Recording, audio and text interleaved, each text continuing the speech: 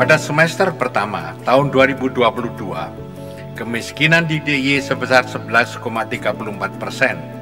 Angka kemiskinan ini lebih rendah apabila dibandingkan dari sebelum pandemi tahun 2019 yang berada di titik 11,44 persen. Dari sini dapat disimpulkan bahwa masyarakat DIY memiliki daya ungkit dan adaptasi ekonomi secara baik dan cepat.